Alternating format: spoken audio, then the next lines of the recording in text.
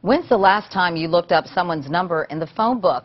I know, I can't remember either. If it's not in my cell phone, I just find the number online, and I don't even need my reading glasses.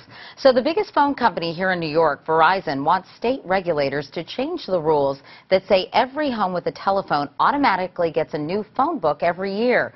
Verizon estimates that could save 5,000 tons of paper. It's a change already approved in several states, including Florida, Ohio, Georgia, and Oklahoma. Residents who want updated white pages could still request them. Otherwise, they'd get only the yellow pages. They'll still arrive with a thud on your doorstep because with all those ads, they actually make money. Of course, those old thick phone books did have one advantage. When I have to reach for something on the top shelf or need a doorstop in a jiffy, my laptop just doesn't do the trick. That's a page from my notebook. I'm Katie Couric, CBS News.